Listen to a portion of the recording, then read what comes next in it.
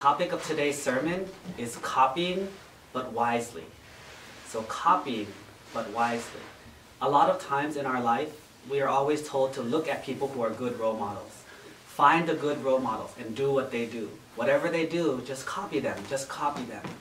However, in a lot of cases, copying without wisdom is actually a bad thing. And to give you an example, let's use the example of the chicken and the duck. These two animals are both birds. They are both very similar. They both have wings, they have webbed, one of them has webbed feet, they have beaks, they have feathers. They're very similar. They look very similar to each other. In fact, if you didn't know the difference, you might even think they were related. And so let's say that we see the chicken watching the duck swim in the water and says, wow, that looks like fun. That looks easy. I can probably do the same thing. And if the chicken jumps in the water, what might happen? Most likely the chicken will drown. Most likely the chicken will not be able to swim. Well, how come? Well, because the chicken has to realize that the chicken is not the same as the duck. The duck has different density of bone. The feathers are put together in a different way. They have webbed feet, which helps them swim, which the chicken does not. But at the same time, the chicken eats different things such as like rice or feed or little seeds on the floor. And if a duck says, wow, that looks really easy, I want to eat that too, can the duck do the same thing? No. Why not? Because the mouth for the duck and the mouth for the, the chicken are different. The chicken has the type of beak that's good for pecking, whereas the duck is not, is not conducive for pecking. So in this case, for the two animals to copy each other, even though it looks like fun, even though it looks like it might be beneficial, it's actually not smart.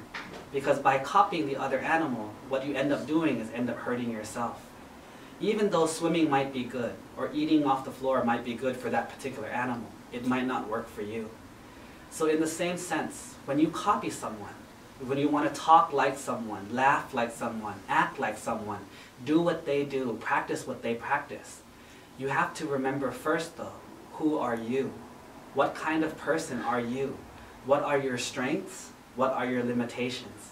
Because sometimes just doing what they do, it's not the same thing because you're not the same person. You can use them as an example. You can learn from them and use them as a good example of what you should think about doing. But don't just blindly copy them. Because if you do, you might end up getting into trouble and not understanding why.